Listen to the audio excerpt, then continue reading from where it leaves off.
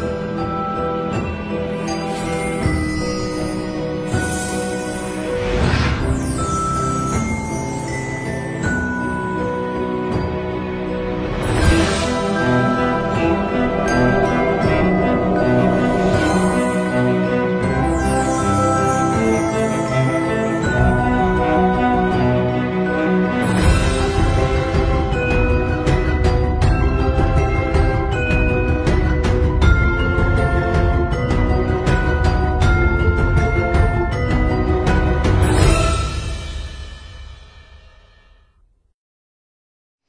Semuanya, kembali lagi sama aku Niki Stiara. Di video kali ini kita akan ngebahas tentang legenda kucing hitam.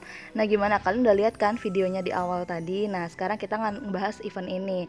Oke, um, jangan lupa kalian subscribe dulu channel Niki Stiara dan simak video ini sampai akhir. Di awal ini kita akan ngebahas tentang alur cerita dari event ini. Nah, event ini itu menceritakan tentang seorang penyihir bernama Lira. Nah, Lira ini adalah penyihir yang suka membuat onar dan suka ngerjain orang lain pakai sihirnya. Terus ketika suatu malam si Lira ini uh, ternyata trik sulapnya gagal, akhirnya membuat dia menjadi seekor kucing hitam.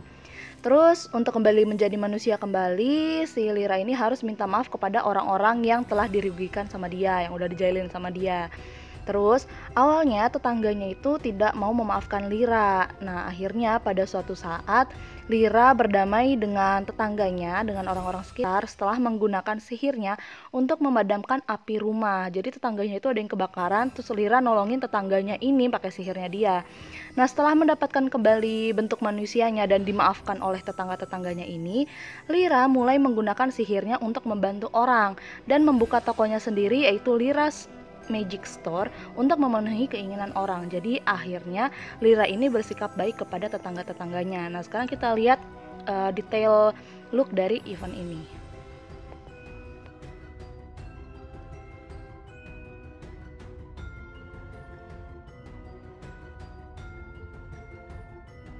Nah gimana kalian udah lihat kan detail looknya itu cantik banget Nah sekarang kita akan bahas tentang info event Event ini tuh akan berlangsung selama tujuh hari dan set um, kucing hitam ini berada di kerajaan Lilith. Nah, cara mainnya kita akan mencocokkan item yang mana satu tema terdiri dari enam babak. Nah, kita punya lima tema, jadi ada 30 babak yang harus kita lewati.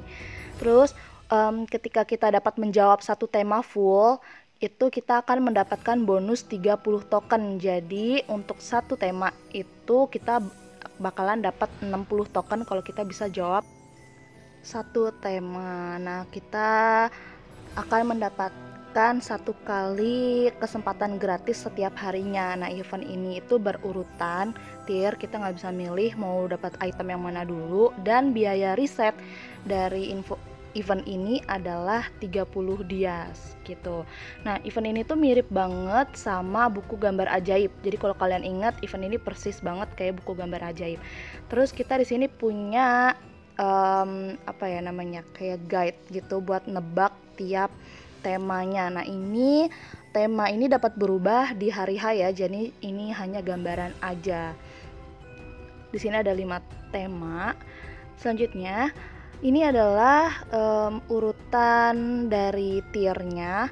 Jadi kita akan membutuhkan 3780 token yang setara dengan 1680 diamond.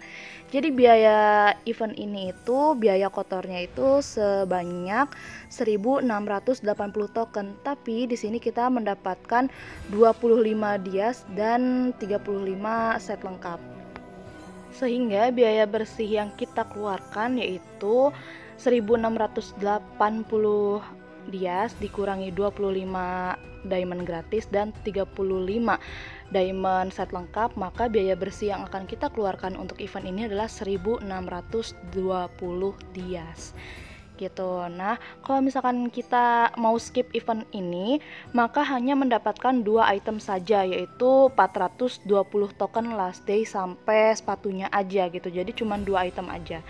Nah, ini dia biaya comebacknya. Event ini akan comeback dan akan mengeluarkan sekitar 2512 diamond dan 185.659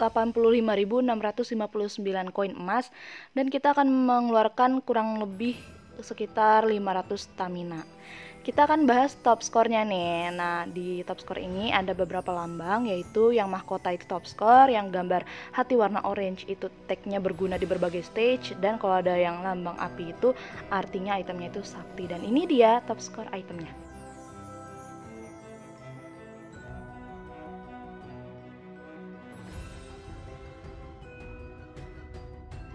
Sekarang kita akan ngebahas tentang kelebihan dan kekurangan dari setnya ataupun eventnya. Nah untuk kelebihannya sendiri, alur ceritanya ini tuh menarik banget. Terus ada nilai moralnya yang bisa kita dapat. Terus tema penyihir, ini jarang banget datang.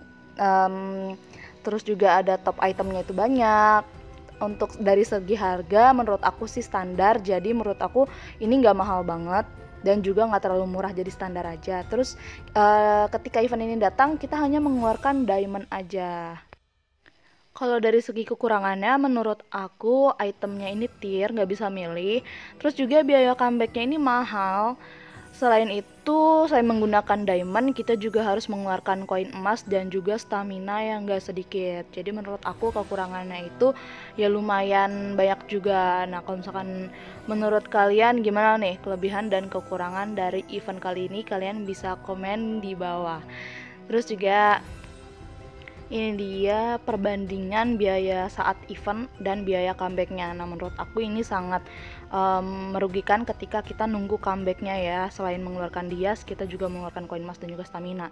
Nah untuk selisihnya itu hampir 1000 diamond. Itu lumayan banget. Jadi menurut aku alangkah lebih baiknya ketika kita ngambil saat event ini datang aja gitu. Jadi jangan di skip. Kalau itu sih menurut aku ya. Nah kalau menurut kalian gimana nih? Kalian bisa komen di bawah. Nah kalau menurut aku sih lebih baik diambil ya event ini kalau misalkan kalian punya diamond.